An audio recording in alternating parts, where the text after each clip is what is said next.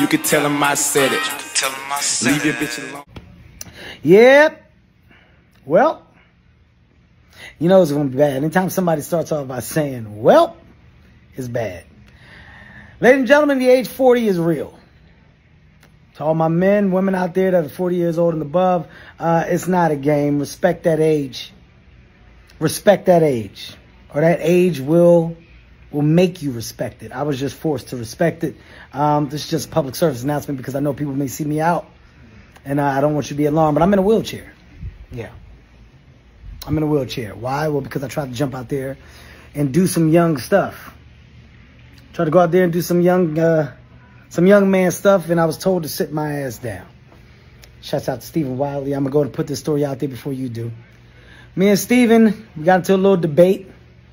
This debate was based off of who was faster. Those that know me know I'm pretty fast.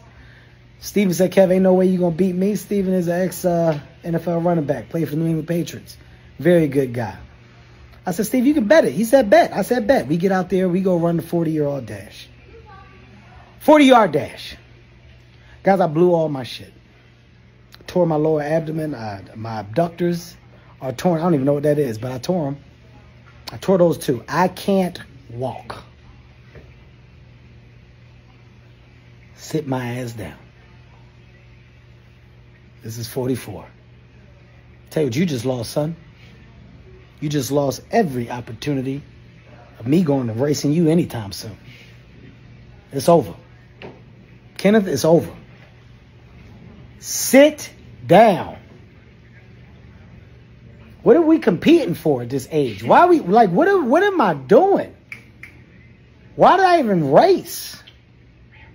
Stupidest shit ever. Now I can't walk because I'm somewhere trying to get the title of the fastest nigga at the barbecue. What was I thinking, son? God, got to be the stupidest man alive. It is what it is, man. This is life. Uh, you know, I'm out. I got about six to eight.